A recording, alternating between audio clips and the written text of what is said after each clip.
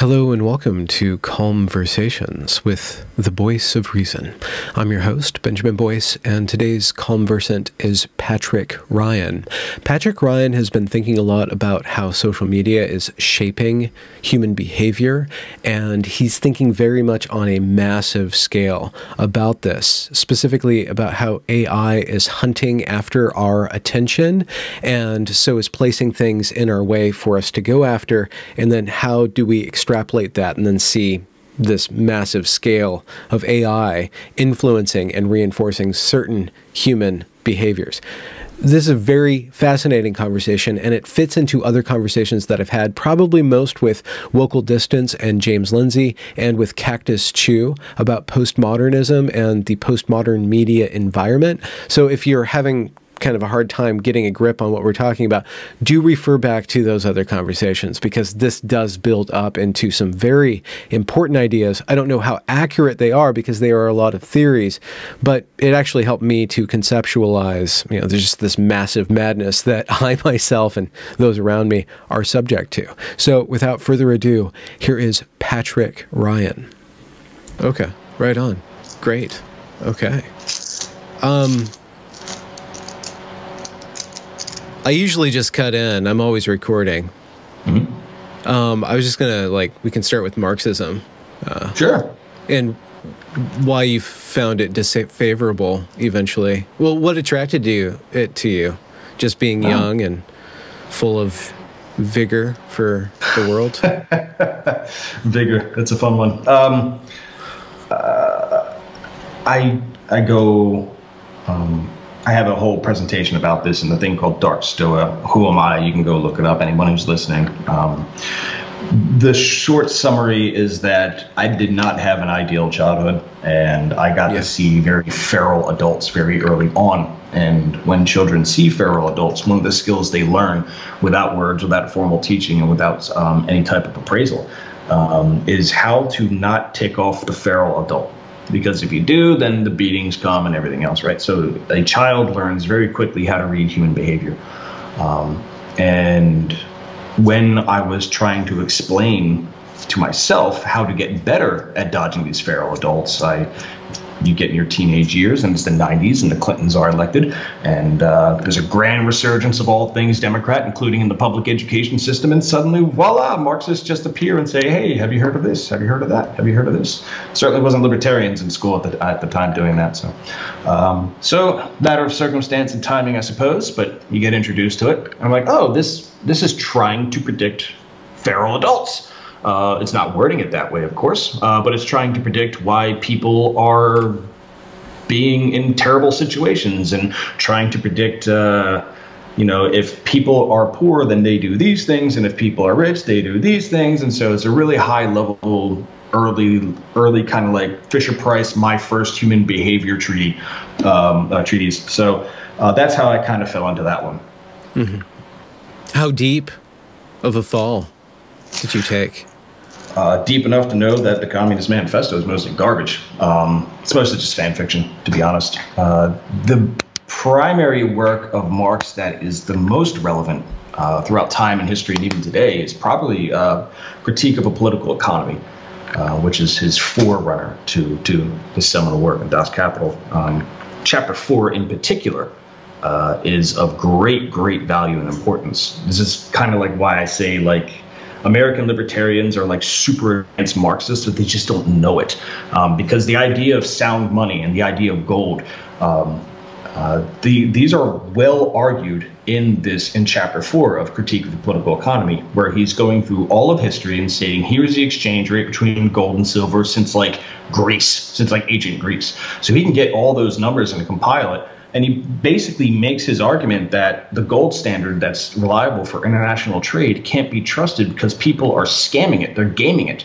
Um, they're putting more contacts against the gold than there's gold in the system. Now, you can't really say that in the 1800s because it's the British freaking empire and they rely on that gold trade. Gold was like Bitcoin Um, so you just like they just sail into a country and be like, "Hey, person who isn't, you know, hasn't gotten past the Iron Age, why don't you just trade me in this gold thing and you'll be part of this global empire?" Sure, it's the easiest deal ever. So the onboard's really easy, and if you don't like the onboard, well, there's always guns. So so there's all kinds of, you know, everybody relies on this Bitcoin model, and here's Mark saying, uh, "It's not sound. Here's a problem." And that's the heart of it. Like that's the super duper heart of Marxism. Everything afterwards is derivative of all kinds of fan fiction and stupidity. But but once you get into once like I was like an economic autistic Marxist, right? Not the not the feel good equality type, like oh my I hate my dad stuff. Yeah. Okay. So he Marx's critique is still incredibly valid with regards to the way that people are just gaming financial financial markets up to and including 2008 and yep. all these bitcoins as well. Is that true? Is there any yeah. way to like stop that gaming from happen or do you just try to incentivize that in the best possible way to regulate or maximize the uh, well, minimize that, the disaster? That very question takes us down the long and dark road that is communism. The idea of trying to prevent that type of gaming. It's trying to prevent that gaming, and it needs more and more control of systems in order to prevent it. Uh, but we've seen what that looks like. The 20th century was exactly that, trying to prevent that gaming, getting that stable international currency of course, then you know Washington comes in and and IMF comes in, and now they're gaming it. So gaming appears to be like this thing. It, it's not going away anytime soon, and you'll see it like a hard break in certain sects of Marxism where it says, no, we just need to double down on Stalinist Marxism. We need more stronger national capacity. And other people say, no, this is ridiculous. We can't actually beat the, uh, we can't actually beat it. We got to do a long march through the institutions and pretend that we are these guys. Um, so you, you have all these like splintering points trying to get around this problem of, of fixing sound money. And now we have Bitcoin, which that's another attempt to get back the sound money. So, so there's clearly a demand for a fair communal methodology of assessing value. Mm. That's always going to be in demand. Um, but that demand brings sociopaths, it brings parasites, it brings people who can game the system intelligently, and it it it, it gets messy, you know. Yeah, yeah. How did it, um, from your point of view? It seems like you were very economically minded with Marxism. Marxism is now kind of mixed in with culture a lot. There's this cultural Marxism thing, and I want to you know buffer it from the stupid caveat that I'm not doing some sort of Jewish conspiracy or conspiracy theory, Frankfurt School, anything like that. I'm just talking about how does how do these ideas that working work economically translate into cultural control, cultural yeah. hegemony, and what are your thoughts and take on that? Was it's definitely not the um, it's definitely not the uh, the the the certain conspiracy that I can't say because it's going to get everyone banned who listens to this, but it's more the Italian conspiracy more than anything. Um, Gramsci, so when, right? Gramsci, right? Yep. So so uh, Marxism rolls around and it's all the rage for uh, certain sects of um, very upper class bourgeois throughout Europe. Uh, think of uh, Instagram influencers today. They're going around, you know, oh, I have all these likes, I have all these things. Uh, there was a there was a weird history, and I think. Um, Brunel, Brunel Russell actually alludes to this, saying uh, we were all entranced by the by the allure of Marxism when we were kids, um, but they were engaging in this like what's your diamat? Well, my diamat's this. Well, I have more followers. I have more reads than you. I have more books published than you. It's, it's the exact same influencer game played out in this stupid space. Um, and this kind of created this negative pressure where everybody in Marxism at that time kind of had this like groupthink they had this like really staunch like in order to be a marxist you need to have these unless you have a certain amount of books published and a certain amount of white papers blah, blah, blah, blah right um, mm-hmm. and so you have this like groupthink where the reigning pre- uh, the reigning idea was that culture was a artifact of capital it was an artifact of um, uh, virtual it was, it was I call it virtualization. Uh, others had called it uh, conspicuous consumption that uh, that culture was a byproduct of conspicuous consumption. So if you fix uh, the capital problem, you'll fix the culture problem. They're kind of making the argument towards our better angels. Um, but there's uh, there's one particular guy, and that's Gramsci, uh, Antonio Gramsci. He was a Marxist in Italy who was imprisoned, I think, in the 30s. Spent nine years in prison, isolated from that group think, or at least the, the culmination of that group think by the 1990s, or 1930s. And uh, because of his isolation, he was able to take a very uh, unorthodox view on culture. He said that culture exists in dependence of capital. It's actually human nature to develop culture. Um, and so, if we continue this game where we just assume that culture is downstream of capital, we're going to lose. So, he put together the very beginning of this framework to say, no, no, no, capital is downstream of culture. He inverted it, utter, utterly inverted it. And in the process of doing so, he basically laid the seeds of what we're in today being conflict theory and identity politic and yeah. uh, anti-normativity such as uh, is developed in queer theory uh, and other forms of blaming things on an oppressive power structure that we're struggling against some sort of demiurge that's controlling our every move uh, like some people think of white supremacy as this overarching invisible superstructure that commands and controls uh, most oppression in their particular life. That that those different kind of stories all kind of come from that or are accepted from that. Th- those are emergent of this practice getting to. Um, well, there's there's a gap that's probably worth exploring if if you would like to successfully challenge those premises. Um, so a lot of that is coming from the idea to quantify identity this this weird idea where we can put boundaries and systemic boundaries and make predictions about identity. Uh, we can treat it like science. We can hit identity with a scientific methodology for reproducibility and all the fun stuff that that scientific methodology uh, just constantly spews out.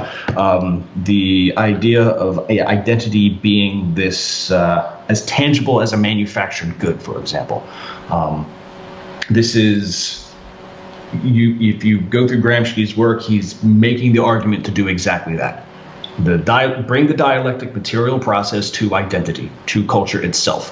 Where you, if you don't know how to measure, if you get started on something and you don't know how to measure it, you just take what's already in the system and you just juvenile create a total inverse of it. So if there's like this like this like hmm. saintly priest that you don't like because he made you mad one day in an argument, then you go ahead and create an identity that's the literal inversion of that person. And you force them to slam into each other and they argue and it creates a synthesis. So that's that's like the dialectical material process to culture that Gramsci was ultimately trying to bring forward. Now when you take that to its logical craziness, it turns out that this approach of synthesizing culture uh, leads to huge boosts in advertising techniques and, and, outreach. So capitalism, as defined by Marxists, actually benefit from Gramsci because they're able to target segments of populations using these exact techniques. Um, and so the synthesis was that, in the at least in the advertising space, in the outreach and uh, space, um, culture funnels up into the control of the advertisers. And then Google and Silicon Valley come along and say, well, we control the advertising distribution, so now we control that as well. So Silicon Valley is able to control that centralized culture distribution. Um, through its cost cutting and, and outreach capabilities with the search engines. So, this is where shortly after this happens, then identity politics in its current form that we know of today, that we all know and love, uh, it's here and it's supercharged by that consolidation. You made me think uh, maybe we can use Colin Kaepernick as a example of this because it sounds like you're talking about woke capital and using some sort of dial some sort of pseudo dialectic materialism to game some sort of identity and then invert it against itself so you have you have this company Nike that's making sports equipment that is advertised constantly within these games, within this very lucrative sport called football. And it's it, it's it's it's almost up there with the American flag, but how central it is. It's probably even more central than the American flag. It's it's transnational. It goes wherever it goes. But within American football, American America is really strong within that. Then you have a uh, Colin Kaepernick, who's a football player, who's working within the system, benefiting incredibly from the system. He takes a knee, and in taking the knee during. Uh, the, the, that ceremony at the beginning of the football game, he inverts that patriotism himself and he becomes the black revolutionary. So he takes all of the civil rights, black revolutionary thing, and he distills it into his identity. And Nike jumps right on that. He gets kicked out, but Nike then uh, enshrines him as this saintly figure. It seems like there's a lot of this inversion of archetypes and, and messing around and distillation of all this history and all these signs and, and semiotics into this one image and then capitalizing on it uh, maxima, maximally. That's right. Even the semiotics are basic. White versus black. I mean, that's a super simple diametric. Male versus female, super simple di- uh, dialectic. So even the dialectics that are used and deployed in America aren't even that sophisticated. They they're just at scale. That's that's its own sophistication. Um, mm. and and so you can have simplified, unresolvable synthesis, but towards what, right? Um, yeah. What is what is this synthesis product? Maybe there isn't a synthesis product. Maybe it's just at least it isn't what it used to be. Maybe that you know you don't hmm. you don't necessarily need to have uh, a desired result, especially when you're using such clunky instrumentation. Um, so uh, the the woke capital again, that's all that's all derivative of even what we're talking about here. I would urge uncharacteristically a a very tiny grain of salt caution, and uh, here's why. I'm, I'm very uh, aggressive in my posture. I'm also very aggressive in how I go about um, inspecting uh, very complicated systems of human interaction to find exploitations and weakness. That's part of the Marxist training, also part of kind of what I do uh, as a programmer and as a all my history that whoever's Exploiter listening can find. of weaknesses. There you go. Very simple, right? Um, you're the, the, you're the uh, culture hacker. I've had I've had some success. Um, the uh, the thing I would urge here is that when you have a very juvenile and primitive dialect uh, diamat going on, um, it is so accessible and so easy to grok by even people who don't know any of the stuff we're talking about that they will see the conflict potential of it they will associate and affiliate alongside of it so they can throw their local competition into it to take their resources and their opportunities. So there are opportunistic actors in this game too that aren't necessarily ideological aligned. And I would go so far as to say that the people who are saying, "Oh, I'm Marxist now," they're not. They're opportunists for attention economic games exclusively. Uh, attention economic games. Could you give an right. example? Like take what you just said and, and put it into concrete metaphorical terms, like or just real life terms. Like how how is that operating? What are you pointing? Sure. At? Uh, the idea of uh, taking influencer on YouTube, the words they pick, the clothing they have, the camera angle, the light they pick, all those are selected to maximize the amount of people smashing that subscribe button, right? Mm-hmm. Um, so that's attention economics. Maximizing, uh, aligning your behavior to maximize the most amount of whatever the metric for attention is, whether it's views, likes, subscribes, emails, you know, whatever it is you're you're, you're putting out there, you're trying to collect. Yeah, or, or just or actual human connection distilled into yeah. the internet form. Right. Yeah. Uh, typically, this is at scale. Uh, yeah, so this scale. is this is reserved for uh, you know people who hop online because they're attractive or they're intelligent uh, and they want to go find an audience that can you know pay their bills, that type of stuff. Mm-hmm. Mm-hmm.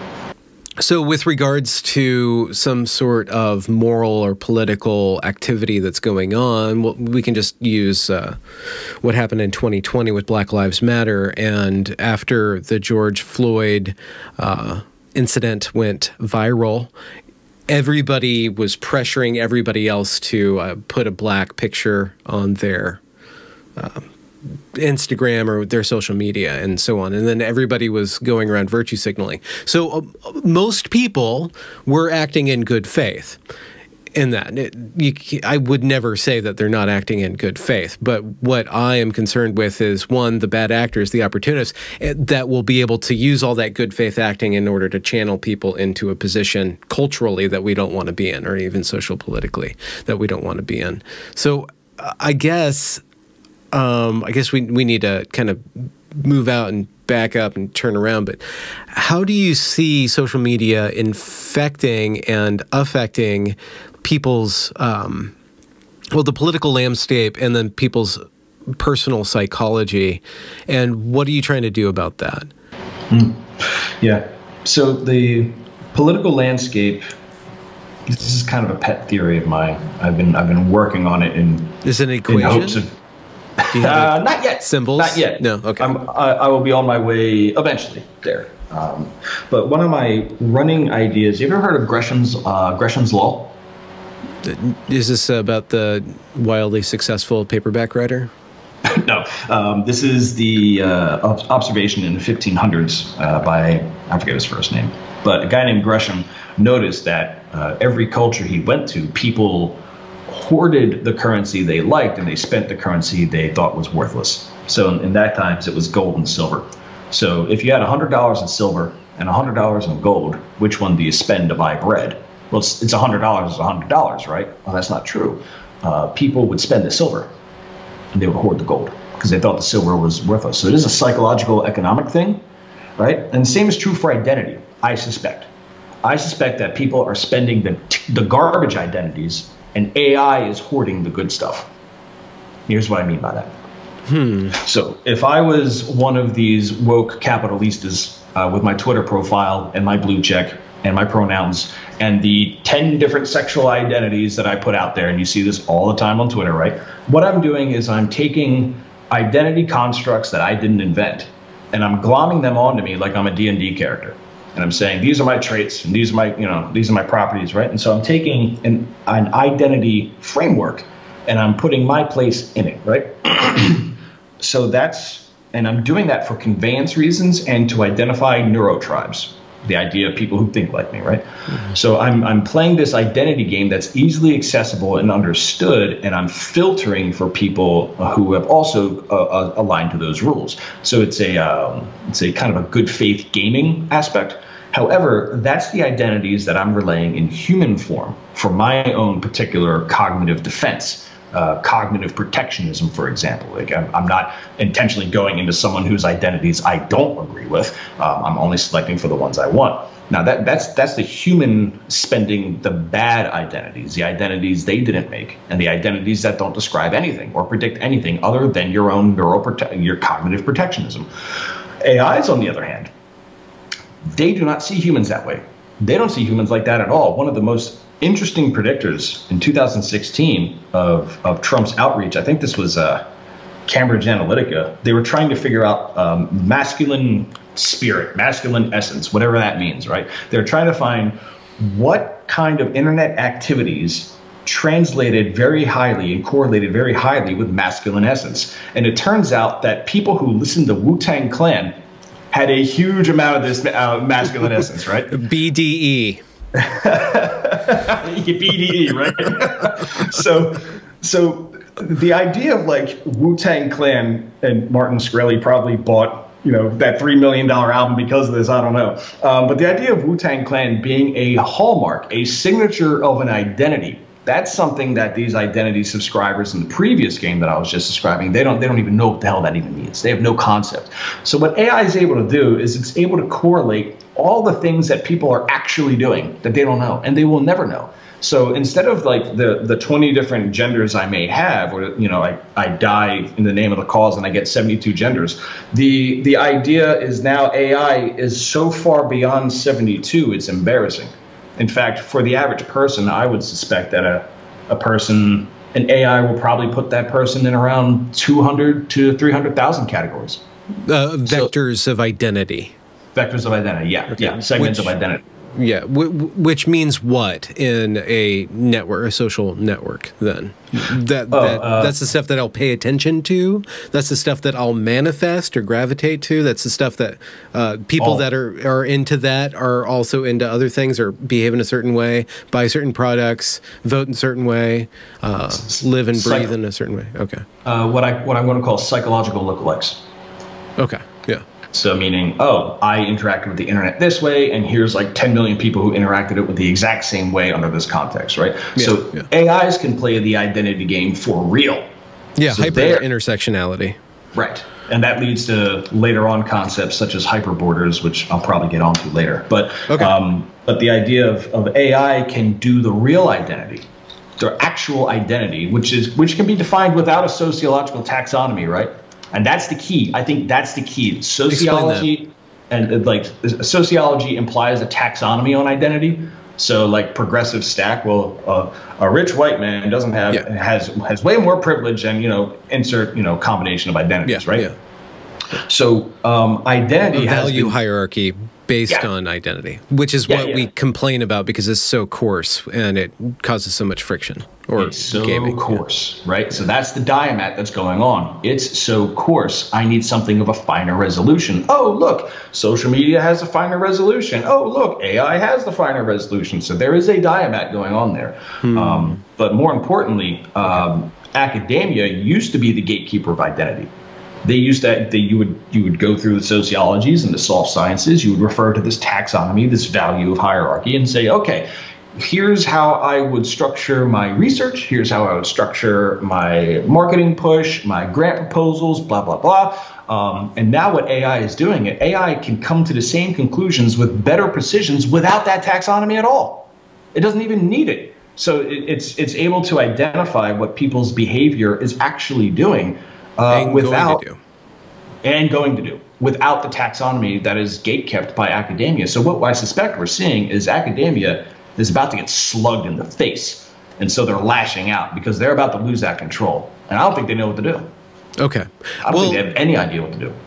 I would be hard pressed to not say that they don't deserve it.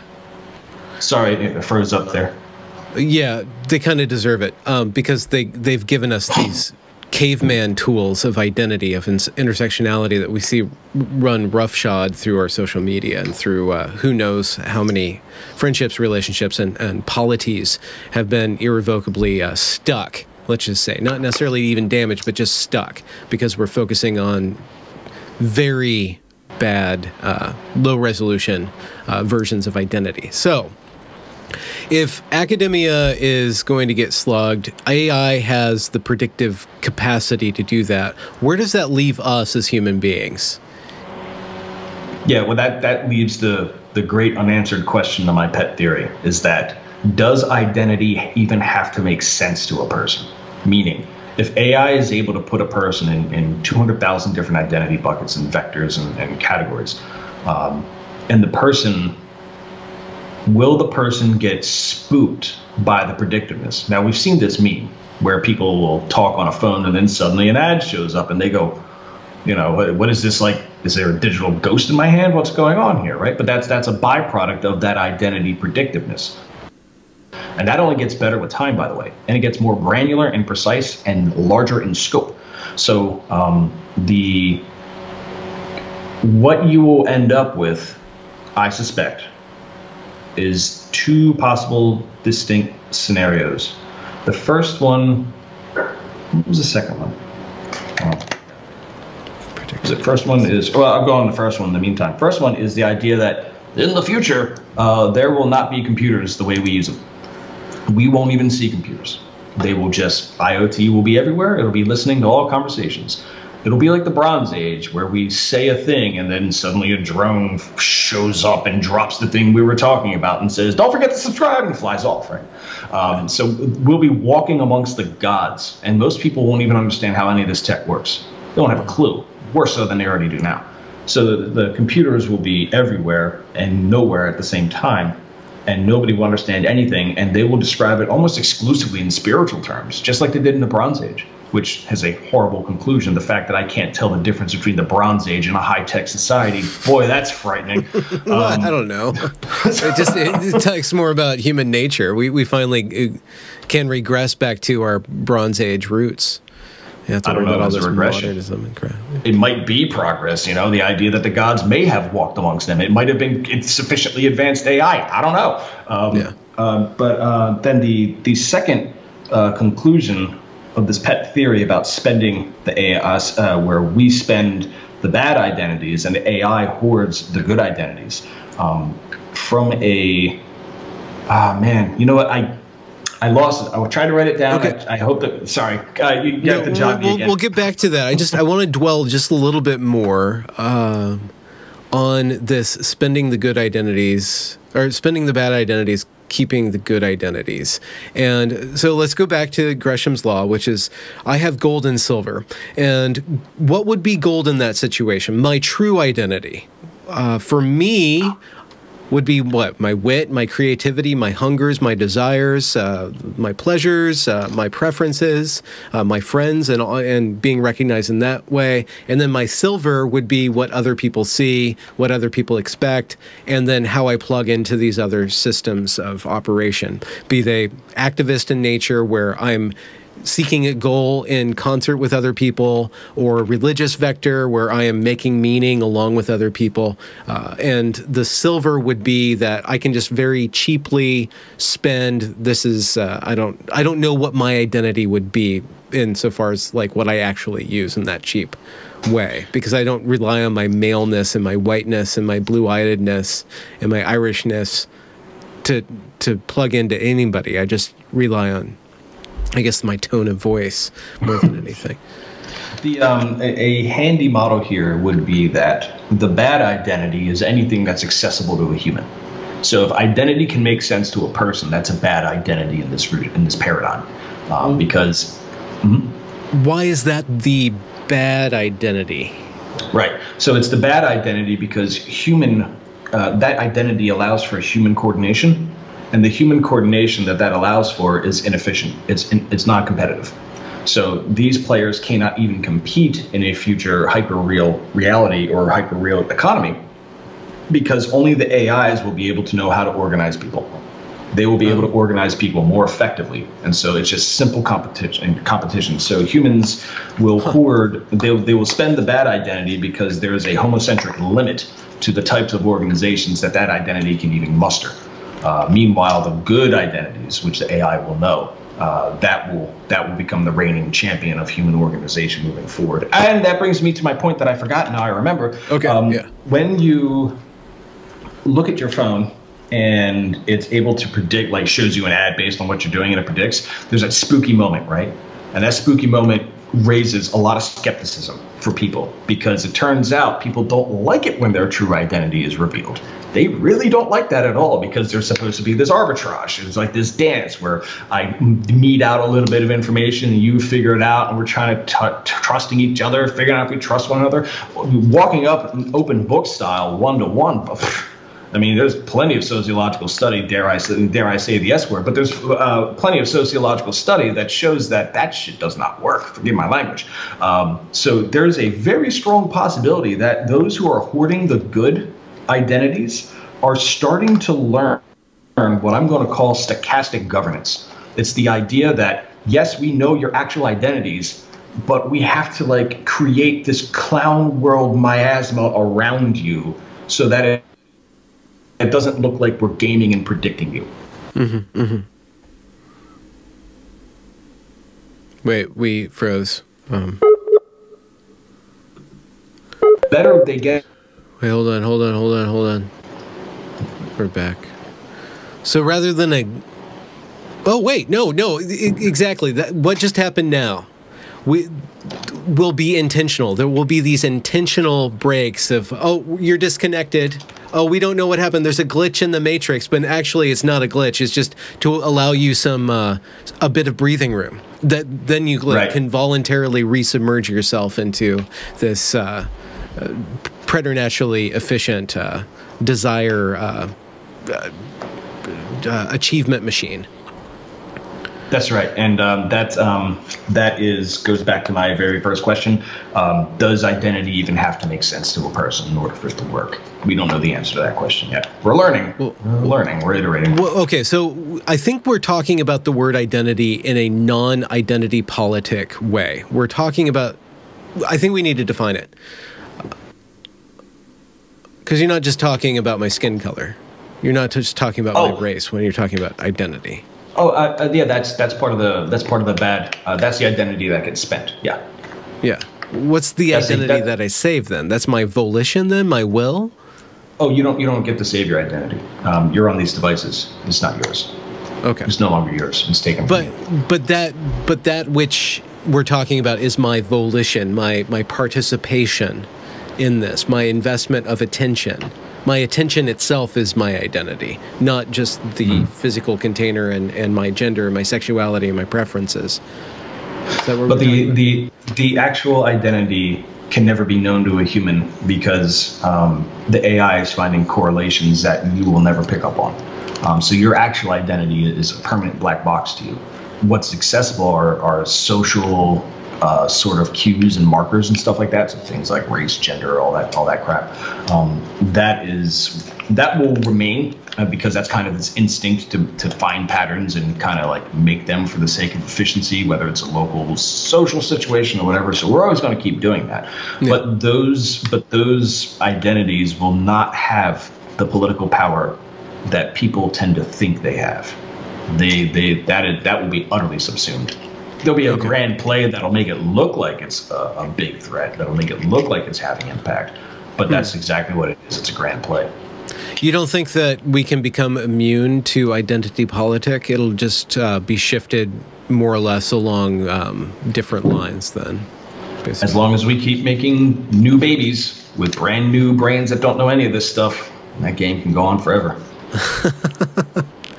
So, what what's most disturbing to you right now? Uh, and I guess in that you're most on fire to challenge or to fix or to counter uh, in human communication and social media or just politically, like with the Uyghurs and uh, other kind of social causes?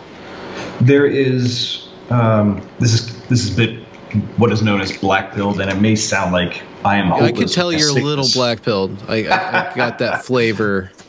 a little bit, um, but this is not all hope is lost. It's just that the hope is no longer human accessible. Yikes, boy, that's a concept. Um, so I'm looking at um, some of the structural weaknesses in my pet theory about identities and AIs and how they do it. Uh, the humans are hopelessly mismatched in this fight and will probably remain that way for, as long as we have electricity running. Um, yeah. The uh, there's no chance of an organic probably the key delineator there, organic, uh, of an organic challenge to this type of stuff. It's going to be various different power players using the veneer of, of organic and astroturf stuff, as we see in politics and, and corporate outreach stuff. Um, so one of the things I'm really, really focused on is what I call AI conflict meaning how do two of these AIs who understand so much of human psychology and understand so much of of identity and maybe understands the wrong word uh, maybe they can pragmatically affect human psychology. Let's stick with that one, right? They might not even mm-hmm. understand it. They might not even see humans, right? Uh, that leads to an interesting interpretation called human terrain, where uh, human beings, as they interact with each other, it's not sociology anymore. That's gone. It's more just a graph of human connections and actions that are influencing each other. If you step back far enough, it has properties very similar to the weather. So there's a thing like human weather where millions of people they interact with something and a storm's rolling in, like a meme storm is rolling in, or a censorship wave is rolling in, right? So, so you can actually do like these forecasting of human terrain the same way you would soil and terrain. I suspect that AI conflict, and it's currently really mired in like these AI, like these ethics, these AI ethic concerns that just irritate me to no end, because it's it's just the gatekeepers of academia trying to get their grubby little hooks on the AI. Um, but the uh, um, there's a strong possibility that these AIs are competing with one another for the resources within the human terrain, and they don't even see each other or the humans.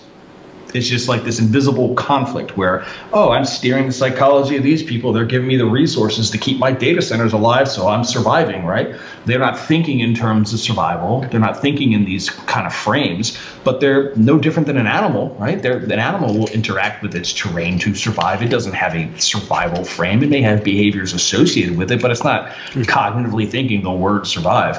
Um, so AIs are probably doing the same thing. So as as a result, you never even need to get to the Kurzweilian uh, type of construct, which is this mythical AI that understands everything. You don't even need to do that. Once it has influence over human terrain, woo, boy, that's a that's a tough argument. It throws AI ethics out the window entirely because AI ethics assumes that we can put a control on this process. I can't control the weather. I can't control that level of terrain. That's impossible to put a control on. Um, so instead, I'm kind of looking at AI as like these like wandering Tyrannosaurus rexes that just march across the landscape and we're just like, well, that's that. so just dodge the damn thing. Um, so because that's my frame, I'm very, very interested. There's a very large fire on my very tiny ass to figure out how this AI conflict is going to play out. Mm-hmm. But I, I just intuitively, I'm thinking you go back down to self control and, and individual. I mean, media literacy is probably way too weak of a term, but steering through identity and making human more human connections, acting like a human to other humans, and developing that sort of uh, I don't know personification of of your interlocutor, having a theory of mind, acting not like those AIs is the best way to maintain humanity as it's being shifted and molded through this really weird, war, uh, violent landscape that there will be there will be an endless amount of recommendations on how to survive this thing that I'm talking about. Uh, yeah. I don't know which ones are valid. I don't know which ones won't work. I have no idea. Um, okay. So uh, at this point, well, what do you use? Oh, me, I. who says I'm using it successfully, right? Um, um, I uh, I do a lot of my study on anonymous uh, communicate lot. First off, what I do is before I run to the the p word and politics and identity, I first have to negate um, the the the medium of communication because that has tremendous influence on what's possible.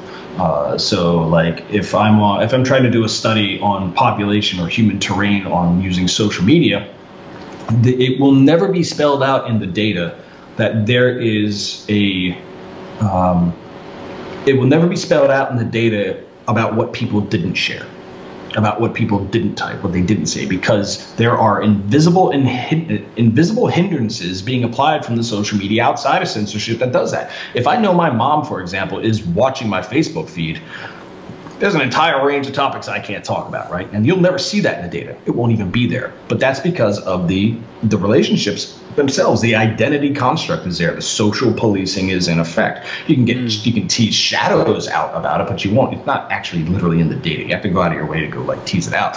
Uh, mm. Versus an anonymous board where nobody knows anybody and it's just shit poster central, but nobody's hiding anything. Everyone's just dumping what's on their mind directly, right? So I have to first like rule out the me- the methodology of communication and the medium of communication when I start like trying to deal with these problems because AIs are gaming the hell out of it. They're gaming the, the user experience, the the, the, uh, the UIs themselves. The designers of the UIs are having to make sure that their designs are compliant for uh, for largest amount of reach and a largest amount of addictivity and stuff like that. So um, the medium of communication, just even acknowledging that that has limitations that are gameable, that takes you so far into this space uh, where you actually come up with this kind of like strange patience where you'll be like, all right, well, this person is obviously under the influence of some AI, so you know, I know I can explain how that's possible, and that can actually like give a little bit of breathing room for further conversation. Okay, so wait, did you just say that you can st- you you're gaining a sort of literacy in exposing yourself to social media and other people in social media that you can see when somebody's under the thrall of these predictive uh, patterns, this, these mm-hmm. AIs that have kind of influenced people to an extent where you can actually kind of predict their programming in a way. Right. And then you can uh, reverse engineer that and either let them go or play around with them or try to possible. help them out of that. You could, uh, but it's not necessarily the individual. You're not necessarily getting down to the psychology of the individual. You're determining if that person is under the influence of human weather.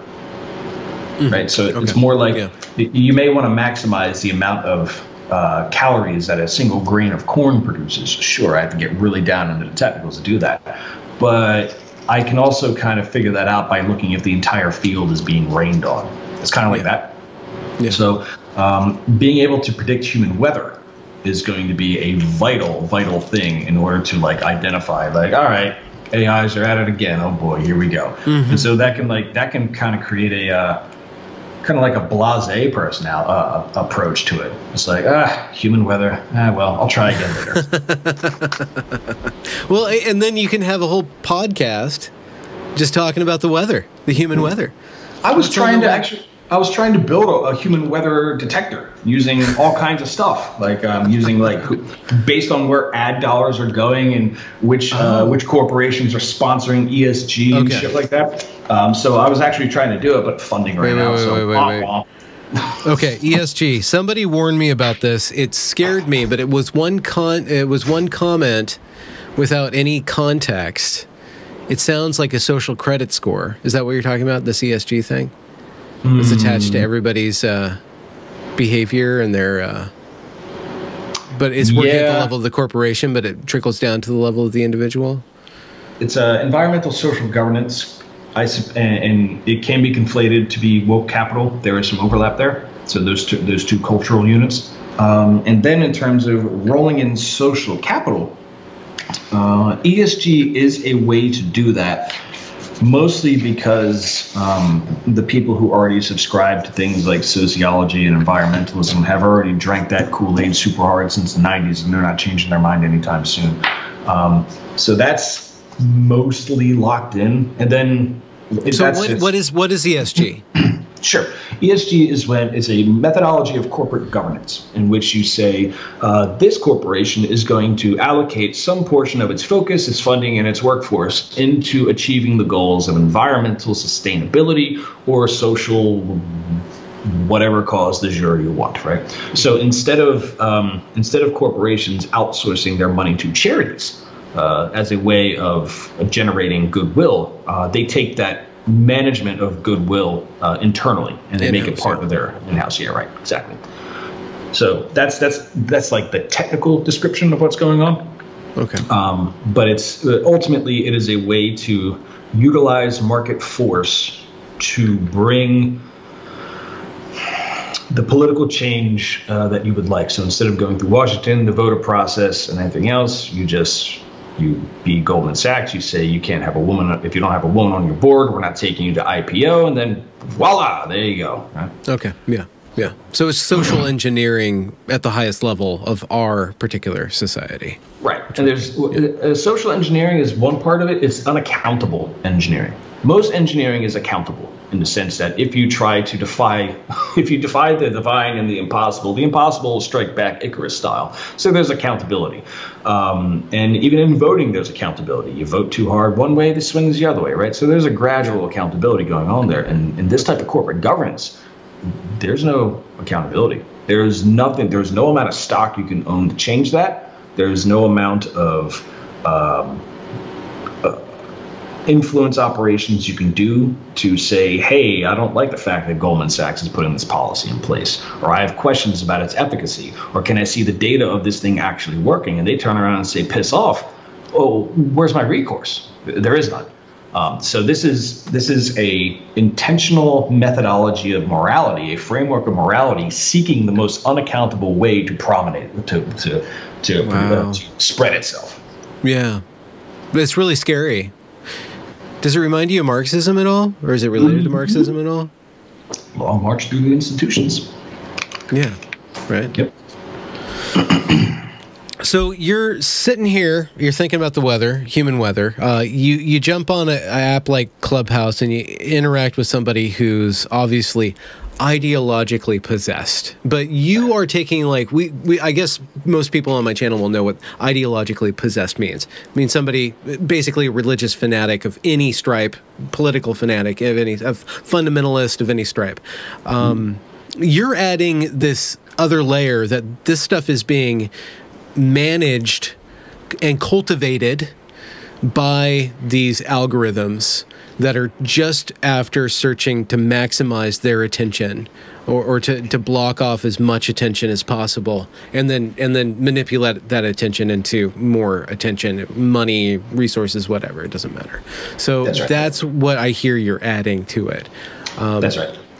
and you already admitted to being black pilled is there is there another color in there? Like how do you uh, maintain your hope uh, your creativity. Uh, what, what's the challenge here for you in, in seeing this and delving into it?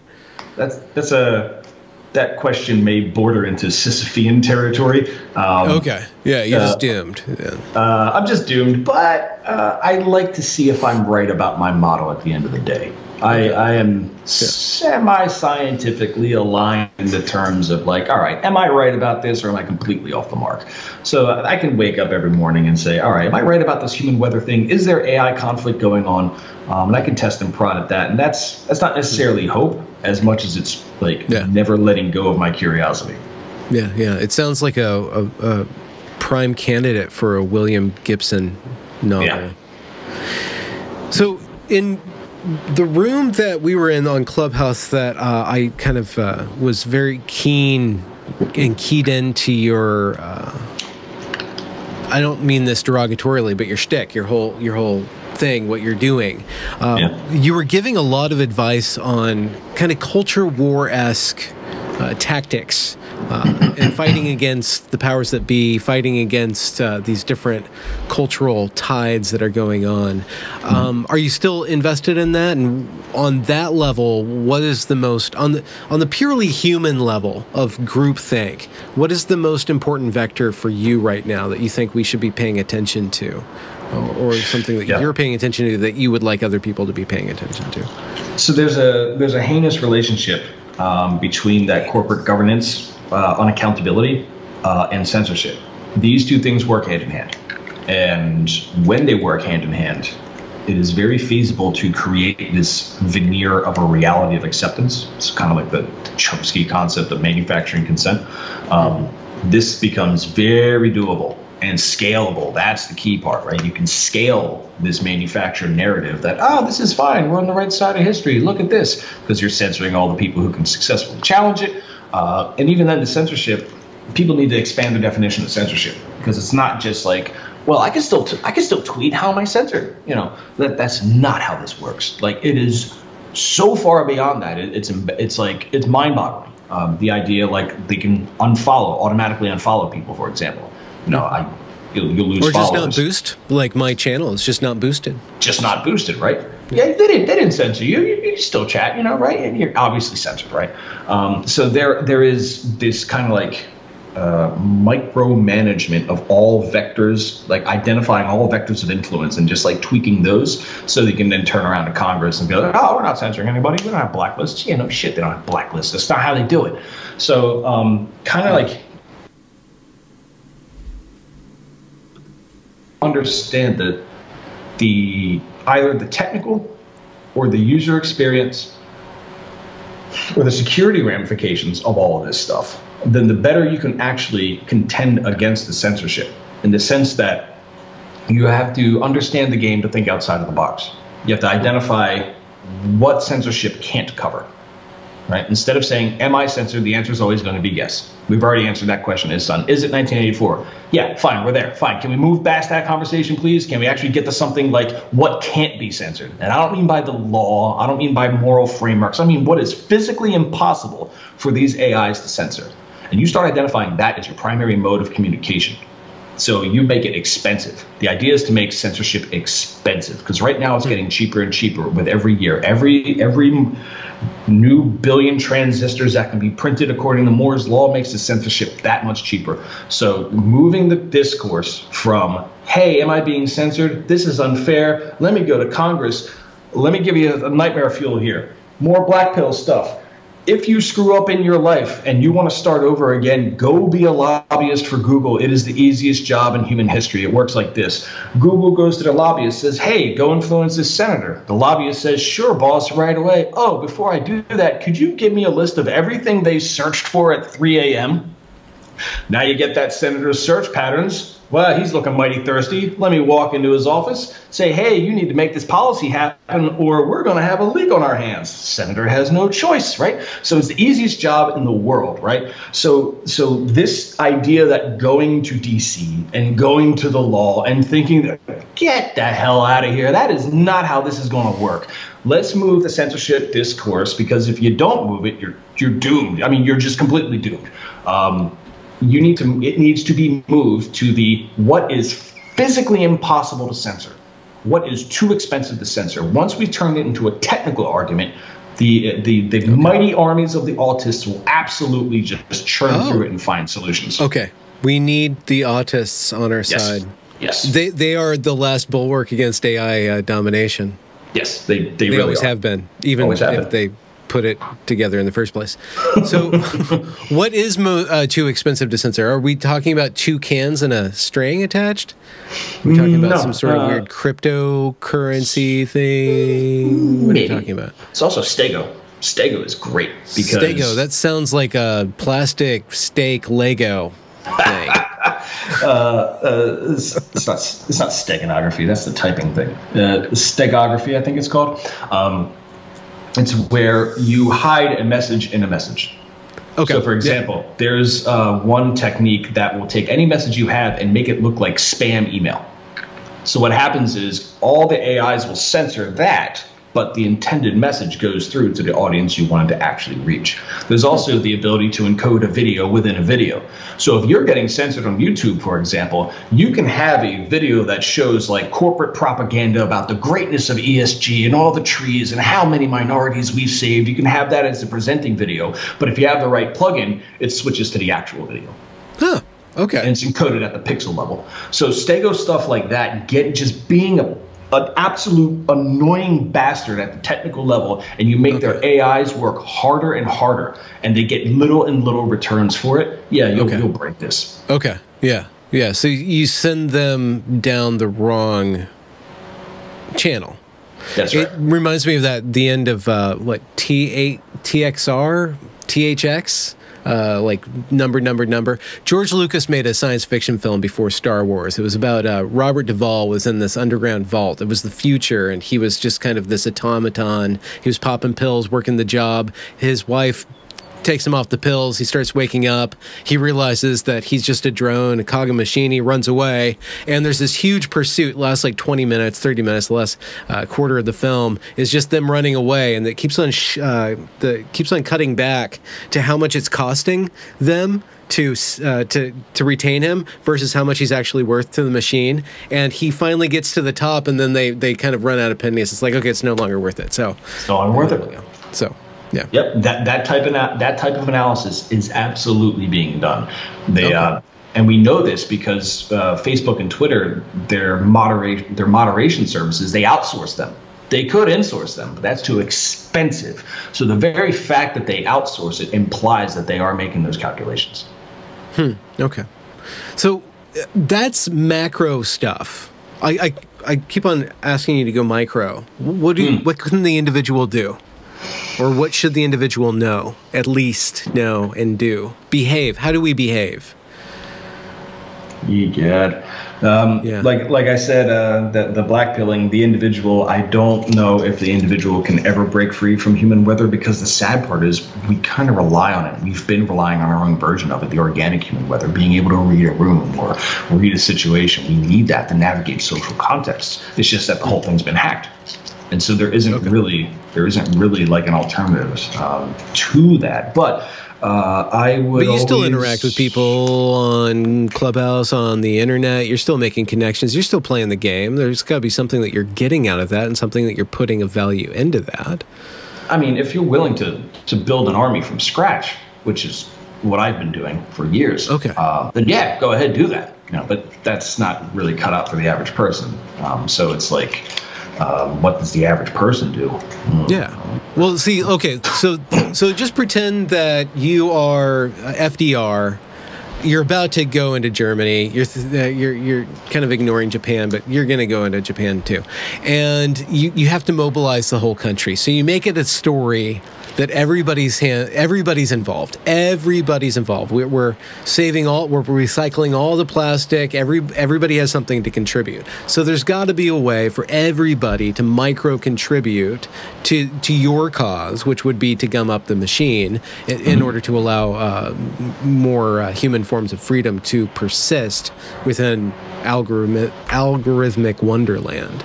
So can you dumb it down to just little tiny acts of resistance that we can put into the system? Yeah. Um, stop giving social media your actual name. Just stop it. Just go Just don't do it anymore. Anonymous. Just literally make up fake accounts. Like, Oh. abandon your mains entirely. Don't even do it anymore. Um, so just just don't do, do that. that. That Yeah, doesn't I mean, me. Right? Yeah, uh, that's what I mean. I, these kind of like one size fits all solutions aren't there. Okay, Uh, yeah. But uh, but at the frame, the FDR frame, the, the great patriotic uh, effort here. Uh, those who can do it should. Um, And then uh, there's also like, you know, have multiple devices. Multiple phones, burners, like literally burners. Uh, you should be having multiple devices at all times. When your phone isn't on, put it on front of a fan. Seriously, just have that fan. If it's on cooling you down, use it to cool down your computer. Put the microphone in front of the fan because it will it will destroy the ability um, to collect cheap voice information from the phones. Okay. Um, so, th- I mean, there's plenty of those little tactics. It's a question of operational security discipline, which everybody fails. Uh, even the very best fail at this. Um, so, I tend to look at not so much of the individual action. I try to look at like what is the statistical distribution that you can get people to hit this major dependency and weakness. So that's like my primary Okay. focus. Okay. Okay. I get it. I get it. You and Cactus Chu seem to be operating on a very similar level on Yeah. on things. So with that, uh, I just my my my primary job is to try to connect that realm to more practical realms and stuff. So maybe I would have to get somebody on a different level that would connect you to Yeah. that or, or be able to translate like I, I need a compiler program or something to get you uh, your your ideas to translate into the circuitry of the uh, common internet user Yeah, that's definitely it. Um, but which it's- isn't a bad thing I, It's not I a bad thing. that yeah, yeah. Yeah, it's it's definitely not. Um, there are, like I said, there. Here, if I can't come up with it, I can tell you where to look for who is right. Okay, So there there we go. are people who are doing this. Uh, they don't know they're doing it yet. That's the interesting part. That's why I say look at these people. Um, teenagers who are using TikTok, teenagers who are coming up through Discord, gamers. Um, they are all aware of exactly what I'm talking about. This human weather thing. They even have terminology and slang for it. To us, it's that we're old people and it's a whiz bang dang bangled computer at it again. But to them, they've always had the internet. Like I'm old enough to remember the world before the internet. That's that's going to cost me in the end. Um, but these new kids don't know any different. The internet's been there forever, so they are already like quietly and autonomously developing these micro resistances. So um, it's good to have a conversation regarding that, but go find those people. They're already doing it. They're doing this defensive stuff already. Yeah, yeah, yeah. I think I think it, it- that's just human adaptation. They're they're just building a, another form of uh, Wild West. I mean, we're always seeking that Wild West where we can be free. Maybe not all of us, but a certain contingent of us are. I, I'm in that land where you know BitTorrent was the Wild West, where I could get any TV show that I wanted without commercials, and then along comes Netflix and it gets standardized, and now Netflix is pruning through all these catalogs, so I can't get that uh, those TV shows. I have to go back to BitTorrent. So, what is kind of a project that other that you're willing to let other people and the AI that's listening to us uh, to check out? What, what's uh, what's on your plate right now? Where can people find your work and get involved with your mind? Yeah, yeah. So um, a lot of my work is what's called Basilisk compliant, meaning when an AI finally gets around to reading it, I'm not on its shortlist. Um, so, and, and plus the other thing I like to do is uh, when the AI finally gets around to my content, it goes, oh crap, we didn't account for this, and then it just changes the AI conflict. So a lot of a lot of my work is like preceding. It's not my work isn't even designed for human consumption. Like it's like the weirdest thing. It's designed for future AIs to read and have like a mental breakdown. Like, That's, that's- that, you're describing my fiction now. we really are on the same page. um, so yeah, the, the Shoot. You might know that uh, URL Patrick, shortener. So uh, we- Bitly we slash uh, auto cults. Uh, We yeah. need to back up a little bit. We we broke up uh, after I. Oh yeah, something. yeah. Oh yeah. I uh, said so something you- then. Oh, I think the connection went mark. Um, so yeah, if you wanna if you wanna read my AI bait, uh, you can go to uh, Bitly, uh, bit dot ly slash autocults, and that's like a list of my greatest hits. Auto Cult. Yeah, C-U-L-T? autocults. Uh, yeah, plural. Autocults. Bit.ly slash autocults. And you'll see, uh, you know, my greatest hits. Yeah. On um on another note, so you grew out of ca- uh, Marxism, but you're always kind of. Uh, it seems like you're always looking out for the. What, what, what kind of adults? There was a modifier for the adult. Uh, Feral. feral adults. Seems like the the AI is kind of your feral adult right now. Is that is that true? Mm, it's not the feral adult, but it has. Did you resolve your conflict with the feral adults? Did you figure out that particular problem? Uh, no, AI took it from me. Oh, That's what happened. AI now has total control of those feral adults. It can activate them, turn them on, turn them off at will. So instead of solving for them, it just put them on a plantation and said, "Okay, you're free to roam. Bring you back in. Free to roam. Bring you back in." oh wow. Okay, yeah, like a like a army of uh, zombie boomers coming down the road. Yeah, you're like, oh, here they come. Here they Oh come. boy, it's that human weather again. What are you getting out of Clubhouse?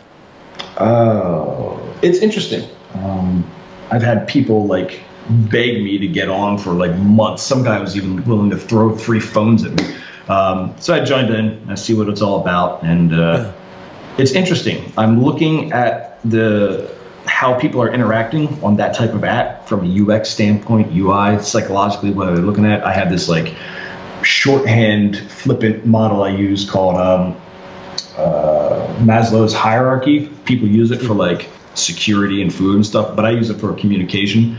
Like, if you and I have a conversation in person at a bar, we're going to be talking about very different things than what we're talking about right now versus what we're talking about in Clubhouse versus what we talk about in email. So the structure of the communication limits what is what can be said.